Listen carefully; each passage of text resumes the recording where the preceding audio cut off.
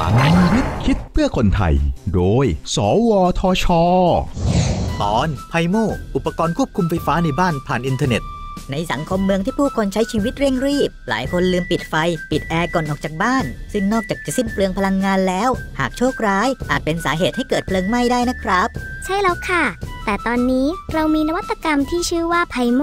อุปกรณ์ที่ใช้ควบคุมไฟฟ้าในบ้านผ่านอินเทอร์เน็ต มาช่วยให้เราปิดเปิดอุปกรณ์ไฟฟ้าในบ้านเราจากที่ไหนก็ได้แล้วค่ะ PiMO เป็นผลิตภัณฑ์ที่ใช้ควบคุมอุปกรณ์อิเล็กทรอนิกส์ภายในบ้าน ผ่านเว็บไซต์หรือแอปพลิเคชันบนสมาร์ทโฟนทำให้ลดค่าใช้จ่าย ลดการสูญเสียเวลา และความกังวลเกี่ยวกับความปลอดภัยที่เกิดขึ้น จากการลืมปิดอุปกรณ์ไฟฟ้าที่ไม่ใช้งาน ในขณะที่อยู่นอกที่พักอาศัย จุดเด่นของ PiMO คือ ตรวจสอบสถานะวงจรไฟฟ้าได้ทั้งการใช้งานผ่านอินเทอร์เน็ต และการใช้งานตามปกติ สามารถควบคุมระบบได้จากอุปกรณ์ที่หลากหลาย อีกทั้งกล่องควบคุมยังมีรูปลักษณ์ที่โดดเด่น ประยุกต์ใช้เป็นเครื่องตกแต่งภายในบ้านพักได้อย่างลงตัว และยังออกแบบหน้าต่างผู้ใช้ให้เหมาะสมได้ตามความต้องการอีกด้วย ผลงานนวัตกรรมนี้ได้รับรางวัลรองชนะเลิศอันดับหนึ่งสามารถ Innovation Award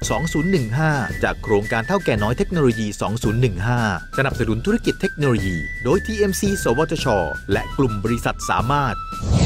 พัฒนาคนด้วยวิทยาศาสตร์ พัฒนาชาติด้วยเทคโนโลยี สอบถามรายละเอียดเพิ่มเติมได้ที่ สวทช 02 564 8000